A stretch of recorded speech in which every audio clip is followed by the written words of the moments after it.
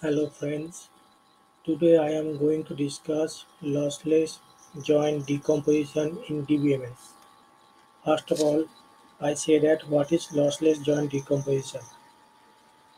Lossless join decomposition is a decomposition of relations R into relations R1 and R2 such that if we perform natural join of two smaller relations, it will return the original relation. This is effective in removing redundancy from database while preserving the original data. That is, there is a suppose there is a table R that can be divided into multiple portions. After natural join of that multiple portions, if we return back to the original tables, then we say that join is lossless. Otherwise, it is called lossy join. Second point, lossless decompositions, it becomes feasible to reconstruct the relation R from decomposed tables R1 and R2 by using joins.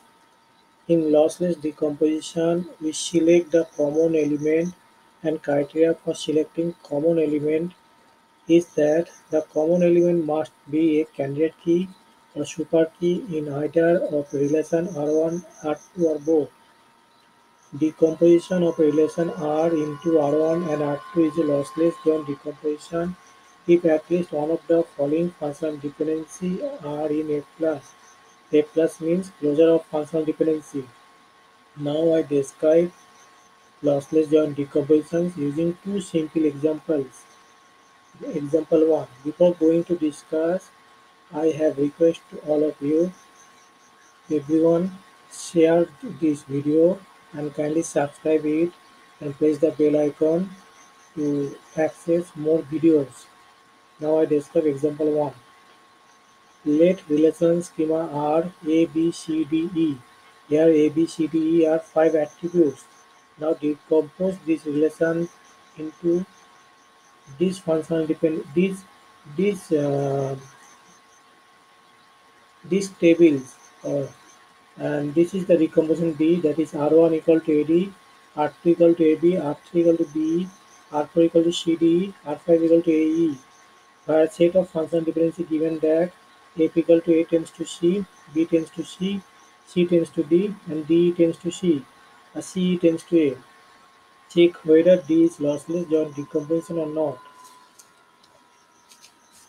Using these decompositions R1 to R5, we design a table here A, B, C, D, E are attributes of relation R and R1, R2, R3, R4, R5 are five decompositions.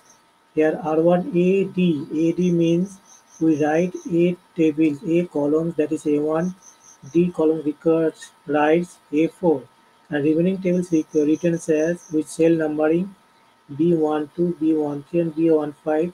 Similarly R2 written as AB, AB means a1, A2 and remaining value is B23, B24, B25.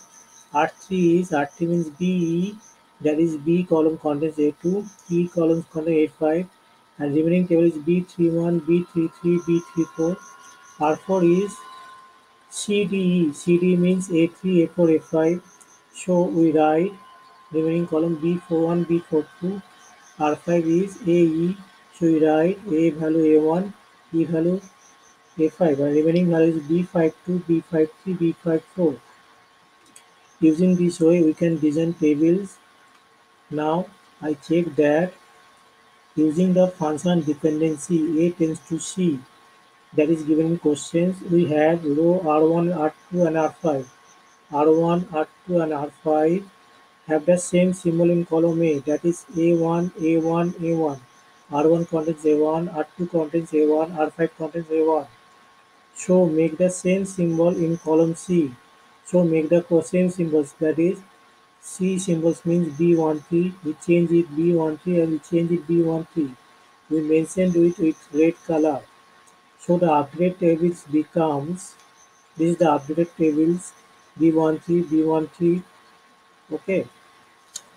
Next part 2 using FD B tends to C. Row 2 and row 3 have the same symbol in column B. Row 2 and row 3 here we notice that A2 row 2 contains A2, row 3 contains A2. So C symbol also contains the same symbol. So make the same symbol in column C that is B13. We make the update table. We can change B33 by B13. Now the update table becomes this is now next uh, step 3 using FD C tends to D. C tends to D we have mentioned that C value row uh, R1 contains B13, R2 contains B13, R3 contains B13, R5 contains B13. So obviously D contains the same symbols. Here rows R1, R2, R5 have the same symbol in column C. So make the values of D to be same as A4. The update table becomes we just cross B24 and write A4, cross B34 and write A4, and B54 cross it and write A4. And update table becomes this. Now using D tends to C, D, E.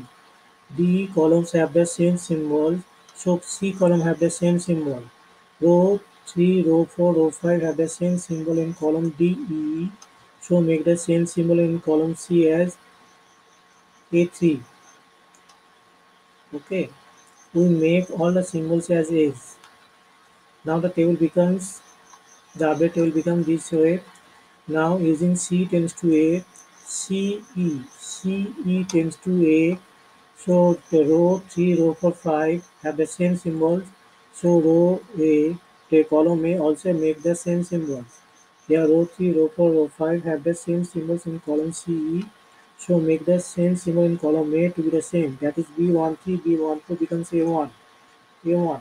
That is we strike B31, write with A1. Now we get that row 3 contains all value of A's. So from this algorithm we say that this is lossless. There is a row 3 contains all A symbol.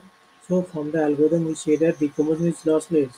Now we describe the second examples. Examples 2 before going to this example 2, I request all of you kindly subscribe and like my videos and press the bell icon to get the more videos. Example 2, let relation schema R equal to ABCDE. Decompose D is R1 ABC, R2 AD and R3 BDE. And the set of FDs A tends to BD, AB tends to E. Check whether D is lossless and decomposition or not.